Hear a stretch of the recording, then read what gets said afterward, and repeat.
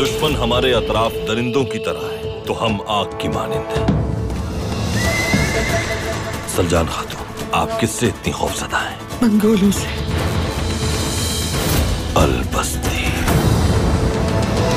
Ertugrul गुंदूस को सऊद नहीं नीकिया लेकर जाएगा। जितनी दूर भाग सकते हैं भाग ले। आज के बाद आप शिकार हैं और मैं शिकारी आज और अभी से अर्तुरुल से सरदार आला का ओहदा वापस लेता हूँ।